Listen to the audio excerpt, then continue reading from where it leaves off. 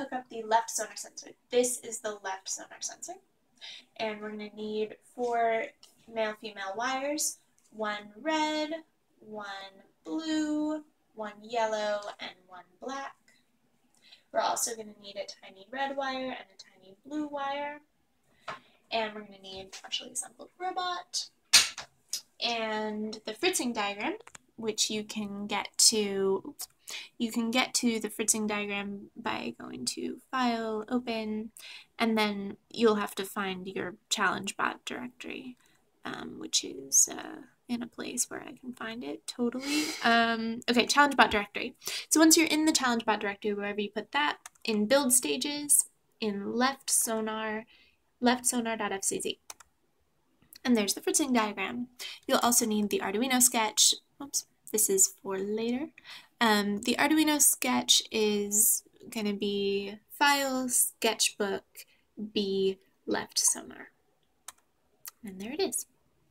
Okay, so in the fritzing diagram, you can see the sonar sensor has red, blue, yellow, and black. We're going to plug that in. So first we're going to plug in red, which is labeled VCC. You'll have that label on your sonar sensor either in the front and the back, probably. Um, so here's VCC. It's going to be on the top when the um, sonar sensor is put together and facing away from you. And then blue is the trigger pin, and we're going to plug that in. Handle these wires by the black housing so that they don't get damaged. And keep these little metal windows right here. So these little these little openings where there's a little metal piece.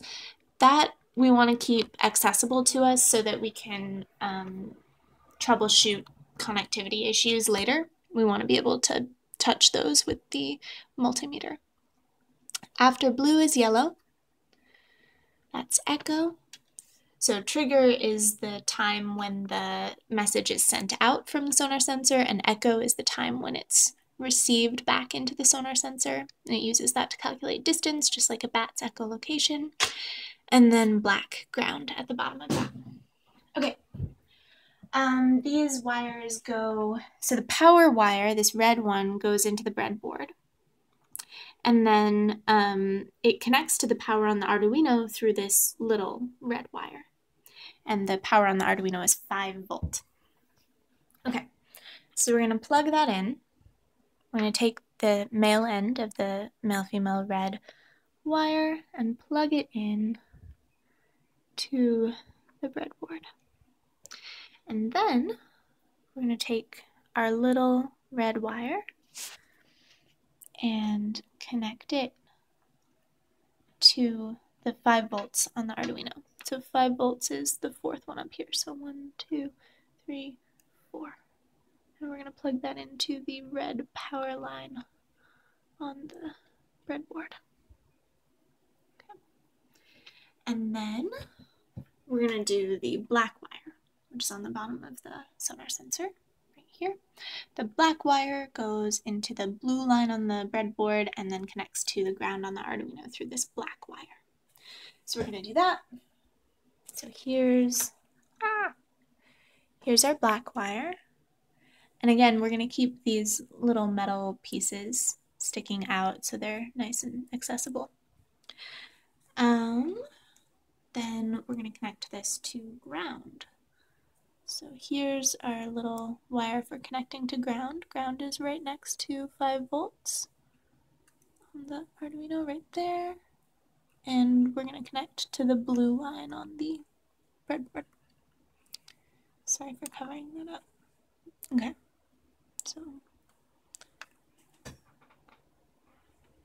ground is there.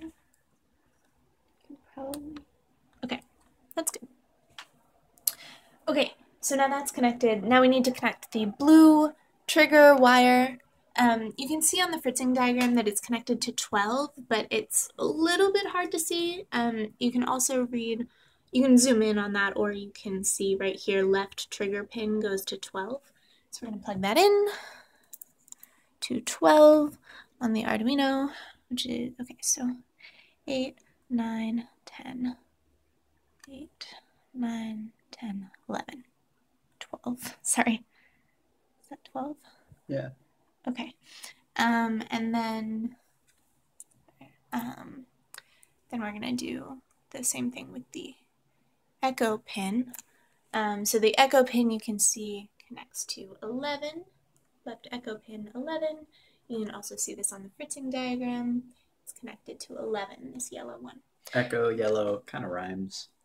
That's why I chose that color. Okay, that's a good mnemonic. Um, okay, so 11. Okay, there we go.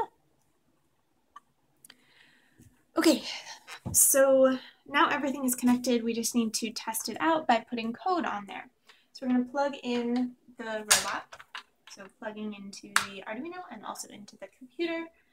And then we're going to upload the code from B left sonar. So this is the upload button right here. And it's running. Now it's done. It says thank you. So we're going to go to serial monitor in the upper right hand corner. Open up this window and it's going to give us some values. So the ping time, that's how long the message is out before it gets back to the sonar sensor, and the distance is calculated from that, and it's in centimeters. So right now it thinks that the closest thing in front of it is around 20 centimeters away. If I put my hand in front of it, that number should go down. So here my hand is in front of it, and now it thinks my hand is like three-ish centimeters away from the sonar sensor. And now if I take my hand away, it goes back to normal. Now you see here, it, it has some like spurious values that are not not really accurate. Um, yeah, so some things can. It's not always going to give the same value if it's measuring the same thing. It's not the best measuring device. Yeah. And also, if you do something um, if say the the blue wire isn't a very good connection and it's um, the same as if it's not plugged in, um, then, then the values, really crazy stuff. hopefully. yeah. So the values now Like are just negative 471. all over the place. It's actually giving better values than I thought it would. I'm not really sure how it's doing that, but yeah.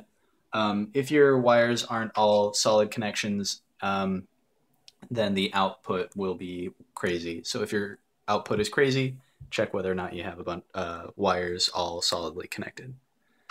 Okay, thanks.